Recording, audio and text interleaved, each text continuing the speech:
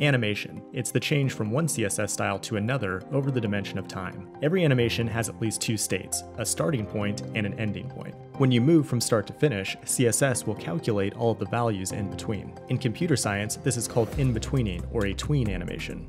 Imagine we have an element that we want to fade in over a duration of one second. When the animation starts, the browser calculates a new opacity value for every frame rendered, and it does so using a linear timing function, which means the amount of change that occurs to the CSS value is exactly the same for each unit of time. But in the real physical world, things rarely move at a perfect linear pace. Things ease in, ease out, and change their velocity gracefully. You can do the same in your CSS animations by providing a timing function. There are many built-in functions, or you can define your own custom Bezier curve.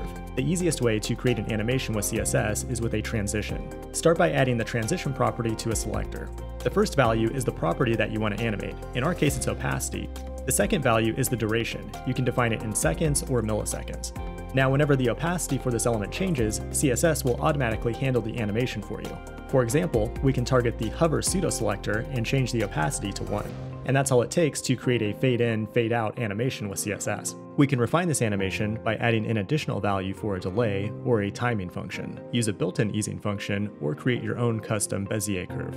But what if you want to animate something forever, or in multiple steps? Keyframes allow you to define animations independent of a selector. First, give your keyframe animation a name, then define your starting styles with from and your ending styles with to. Any intermediate styles or steps in the animation can be defined as a percentage in relative time to the starting point. If your animation is 4 seconds long, then 25% would be 1 second into that animation.